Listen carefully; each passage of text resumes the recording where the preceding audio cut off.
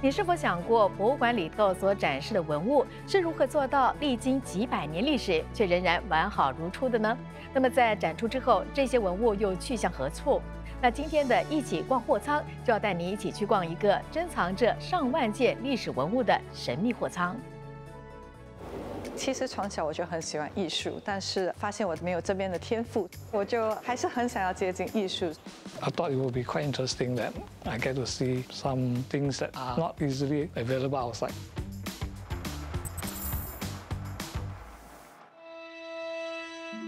建筑的四周有很高和很坚固的铁网，这个能够避免外面的人会爬进来。咦，这里到底是什么地方？里头究竟藏了什么？保安措施竟然如此森严。欢迎来到文物保管中心。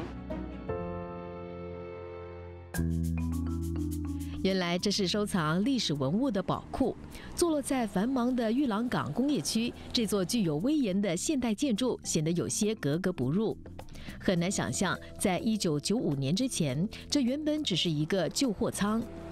由于国家文物局需要一个地方专门储存和管理旗下博物馆的文物，因此建立了文物保管中心。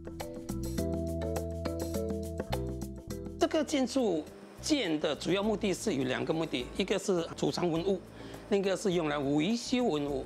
我们这里有超过二十五间的储藏室，然后有五个维修工作室。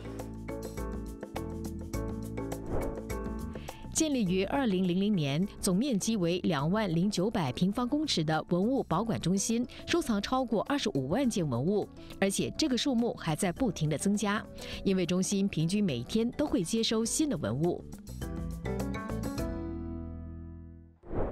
欢迎来到新文物登机室。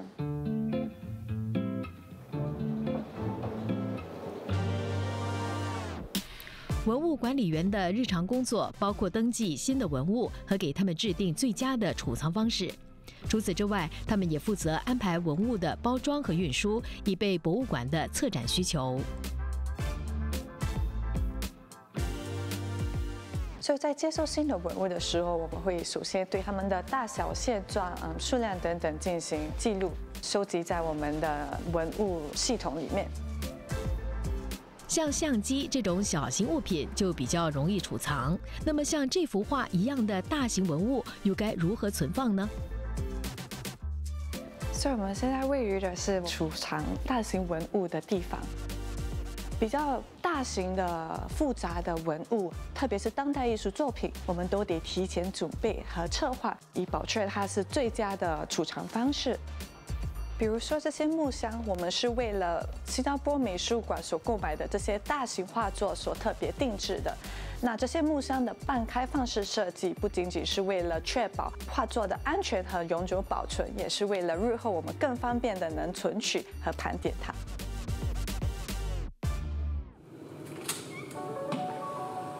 文物保管中心收藏的文物分为四大种类，除了画作之外，还包括纺织品、纸质和物品类的藏品。不同种类的文物都被储存在严格把关的环境里。欢迎来到服饰类储藏室。不同种类的文物固然有不同的储存条件，但即使是同一个类别的文物，也有不一样的收藏方式。比如纺织品就有三种基本的储存方式：平放储存适用于材质比较脆弱、不易悬挂的文物；卷轴储存通常适用于较大型、没有繁杂装饰品的织物。还有悬挂式储存，适用于重量较轻和结构稳定的服装。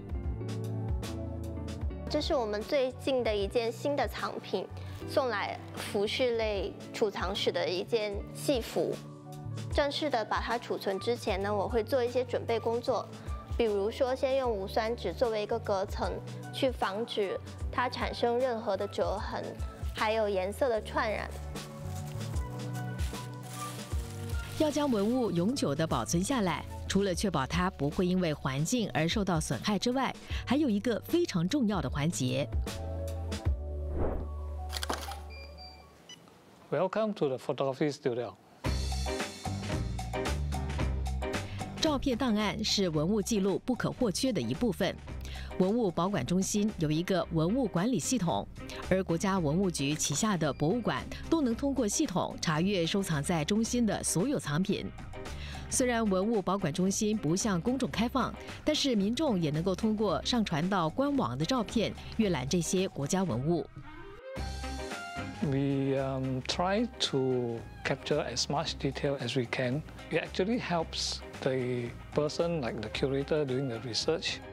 For example, the motif on the chair actually I think is made of seashells. The older chairs will probably have this, but the newer one you hardly find them.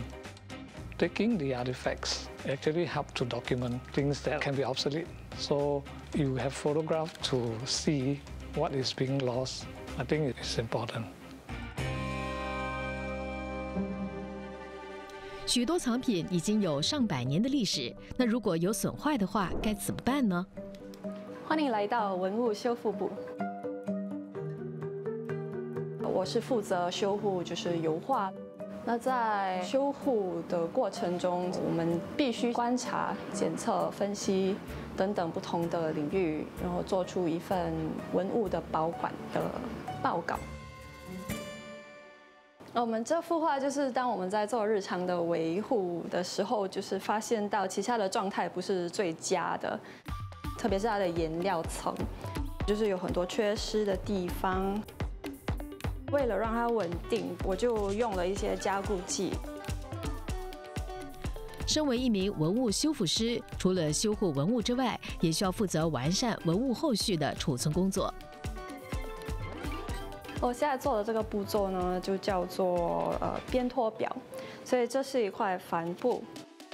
这个步骤呢，是为了增加那个画作的面积，好让我们比较方便可以就是拉紧在我们的内框上面。我觉得我们就是有保护这一代历史文物的责任吧，因为其实不是每一个人都可以那么幸运的去触碰到这些文物的。